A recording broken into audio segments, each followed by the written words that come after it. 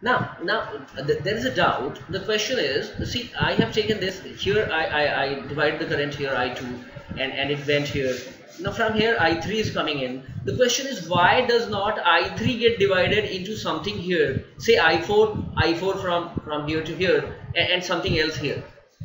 The, the, the, the, the answer is once you have fixed the direction of current, you're not supposed to change it this this current is the current in the steady state and it is coming there. Now you are coming with an i3 here so so there is no other way than to add them and, and, and push a current i2 plus i3 in the branch d to c.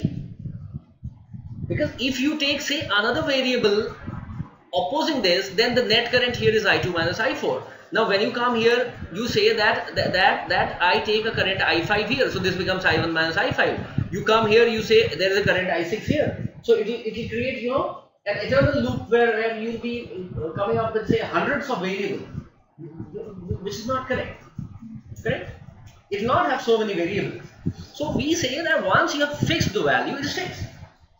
And you introduce the new ones as you move in and, and now since it is fixed, I3 is coming from here, you have no other way than to push a current I2 plus I3 here. The same thing here, there is a, there's a current I3 coming here and, and per force from there the, the current I1 minus I2 minus I3 is coming here. Now you have no way, you just have to add them and whatever comes in goes here.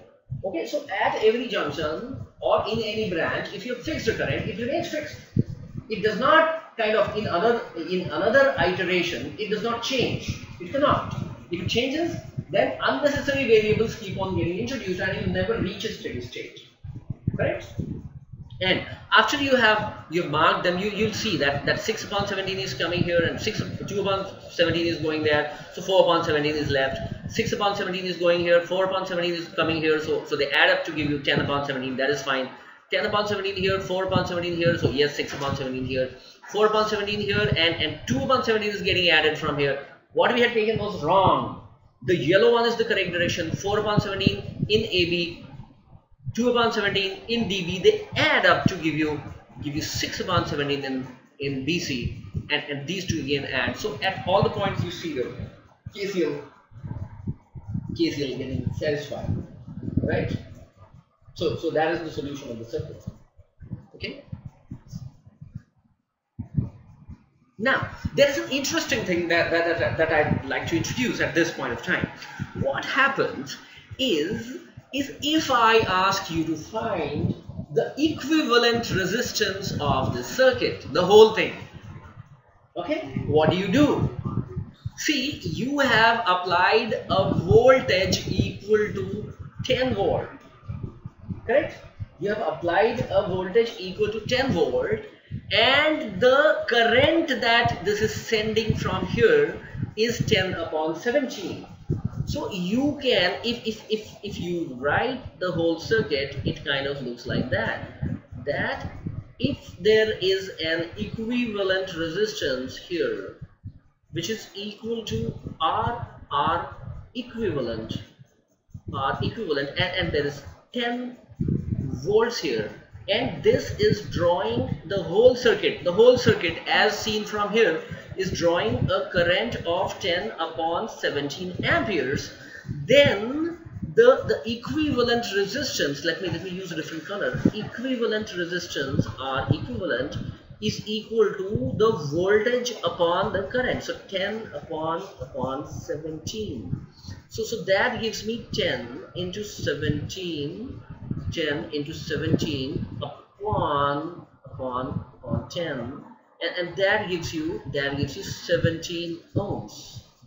So so you see after you've solved it after you've solved the circuit which is maybe not not reducible by applying the series parallel combinations then the best way to do is is, is, is to is to is to is to push is to take some voltage push some current and then find out in the end the voltage upon the current that that this circuit is taking.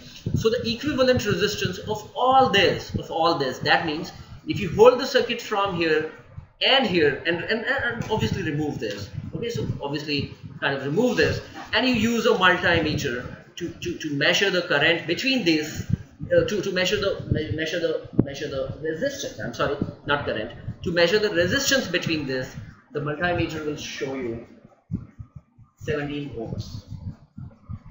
Get that? Correct? So apart from solving this a question may be asked without asking you to solve this what is the total equivalent resistance of the circuit? And, and, and so so willy-nilly you have to kind of start solving this using KVL and KCL okay?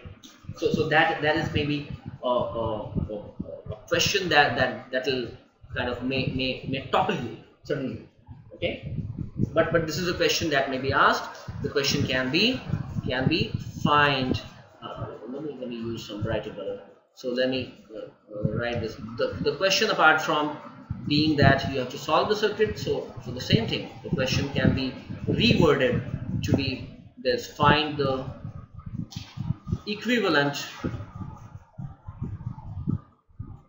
resistance of the circuit resistance of the circuit.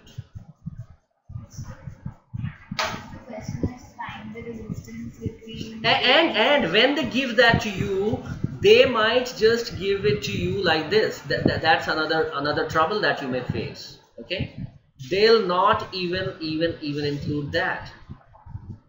They'll just they'll say find out the equivalent resistance of the circuit between a not not a hold on between pq yes. So you will have to you will have to you will have to connect a you will have to connect a voltage source between this okay? As you you may use 10 volts you use 100 volts or whatever. It won't matter. If you use 100 volt then this current will go up to 100 upon 17 10 times? 10 times. It's a linear circuit. Okay?